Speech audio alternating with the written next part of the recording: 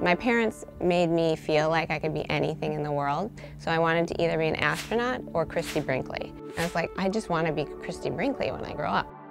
But I always definitely want to be an astronaut too, and my parents used to wake me up whenever there were meteor showers. And we'd go out and sit on the driveway and we'd watch the meteors, and I always loved it so much. That sense of wonder, it's what drives me in my life. I have a kinetic furniture company called Rock Paper Robot. Kinetic furniture is any kind of decor that is moving. For instance, big mechanized chandeliers that expand and contract, shelves that move across the wall really slowly or start to tip over the course of time if you don't dust them or take something off of them.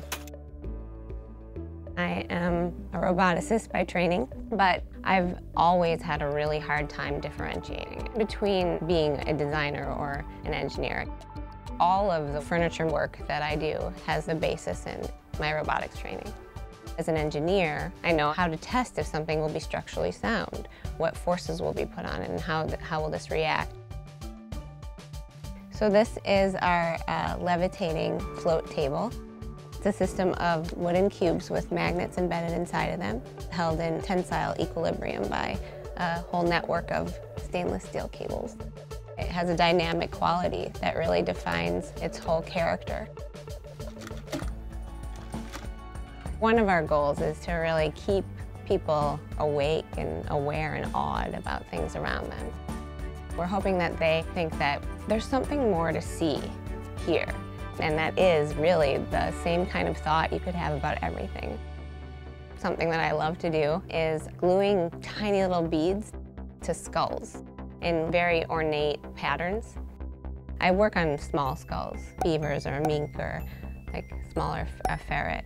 But I would really love to do a, a you know a huge cow or a bull.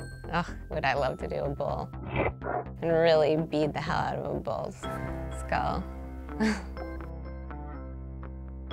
I give a lot of the skulls away to friends as gifts. The thing actually that I really love doing the most is making art for people.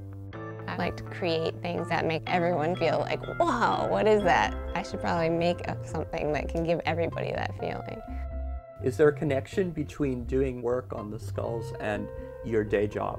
I wouldn't even call it a connection, it's just the same, but in a different context. I like creating objects that are just kind of a little bit strange and are beautiful and really do inspire a visceral feeling about an object. I'm just like totally immersed in wonder.